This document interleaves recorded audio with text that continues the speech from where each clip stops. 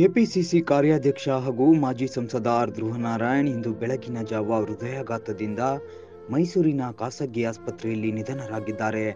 ಅವರಿಗೆ ಅರವತ್ತೊಂದು ವರ್ಷ ವಯಸ್ಸಾಗಿತ್ತು.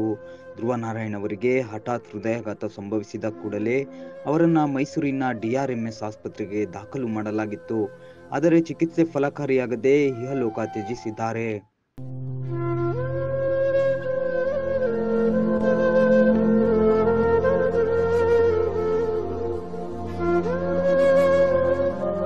ಕೆಪಿಸಿಸಿ ಕಾರ್ಯಾಧ್ಯಕ್ಷರಾಗಿದ್ದ ಧ್ರುವನಾರಾಯಣ್ ಅವರು ನಂಜನಗೂಡು ಕ್ಷೇತ್ರದಲ್ಲಿ ಸ್ಪರ್ಧೆ ಮಾಡಲು ನಿರ್ಧರಿಸಿದ್ದರು. ಈ ಹಿನ್ನೆಲೆಯಲ್ಲಿ ಮತದಾರರನ್ನ ಭೇಟಿ ಮಾಡುವ ಕಾರ್ಯದಲ್ಲಿ ತೊಡಗಿದ್ದರು. ಇನ್ನು ಸಾವಿರದ ಒಂಬೈನೂರ ಎಂಬತ್ತ್ ಮೂರರಲ್ಲಿ ಓರ್ವ ಸಾಮಾನ್ಯ ಕಾರ್ಯಕರ್ತನಾಗಿ ಕಾಂಗ್ರೆಸ್ ಪಕ್ಷ ಸೇರಿದ್ದ ಆರ್ ಧ್ರುವನಾರಾಯಣ್ ಅವರು ಕಾಲಾಂತರದಲ್ಲಿ ಪಕ್ಷದ ಮುಖಂಡನಾಗಿ ಬೆಳೆದವರು.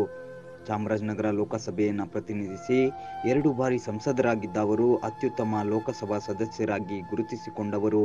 ಎರಡ್ ಸಾವಿರದ ಹತ್ತೊಂಬತ್ತರ ಲೋಕಸಭಾ ಚುನಾವಣೆಯಲ್ಲಿ ವಿ. ಶ್ರೀನಿವಾಸ್ ಪ್ರಸಾದ್ ಅವರ ವಿರುದ್ಧ ಸೋತಿದ್ದರು. ಎರಡ್ ಸಾವಿರದ ನಾಲ್ಕರಲ್ಲಿ ಸಂತೆಮರಹಳ್ಳಿ ವಿಧಾನಸಭಾ ಕ್ಷೇತ್ರ ಹಾಗೂ ಎರಡ್ ಸಾವಿರದ ಎಂಟರಲ್ಲಿ ಕೊಳ್ಳೇಗಾಲ ವಿಧಾನಸಭಾ ಕ್ಷೇತ್ರಗಳಿಂದ ಸತತ ಎರಡು ಬಾರಿ ಶಾಸಕರಾಗಿ ಜಯಗಳಿಸಿದ್ದರು. ಸಾವಿರದ ಒಂಬೈನೂರ ತೊಂಬತ್ತೊಂಬತ್ತರಲ್ಲಿ ಸಂತೆಮರಹಳ್ಳಿ ಕ್ಷೇತ್ರದ ವಿಧಾನಸಭಾ ಚುನಾವಣೆಯಲ್ಲಿ ಕಾಂಗ್ರೆಸ್ಸಿನ ಎ ಆರ್ ಕೃಷ್ಣಮೂರ್ತಿ ಅವರ ಎದುರು ಪರಾಜಿತರಾದರು. ಆದರೆ ಇದೇ ಕೃಷ್ಣಮೂರ್ತಿ ಅವರನ್ನ ಎರಡ್ ಸಾವಿರದ ನಾಲ್ಕರ ವಿಧಾನಸಭೆ ಚುನಾವಣೆಯಲ್ಲಿ ಕೇವಲ ಒಂದೇ ಒಂದು ಮತದಿಂದ ಧ್ರುವನಾರಾಯಣ್ ಸೋಲಿಸಿದರು. ಎರಡ್ ಸಾವಿರದ ಒಂಬತ್ತು ಹಾಗೂ ಎರಡ್ ಸಾವಿರದ ಹದಿನಾಲ್ಕರ ಲೋಕಸಭಾ ಚುನಾವಣೆಯಲ್ಲಿ ಕೂಡ ಕೃಷ್ಣಮೂರ್ತಿ ಅವರನ್ನ ಸೋಲಿಸಿ ಸಂಸದರಾಗಿದ್ದರು. ಬೆಂಗಳೂರು ಕೃಷಿ ವಿಶ್ವವಿದ್ಯಾಲಯದಿಂದ ಕೃಷಿ ಪದವಿ ಹಾಗೂ ಸ್ನಾತಕೋತ್ತರ ಪದವಿಯನ್ನ ಪಡೆದಿದ್ದರು ಧ್ರುವನಾರಾಯಣ್.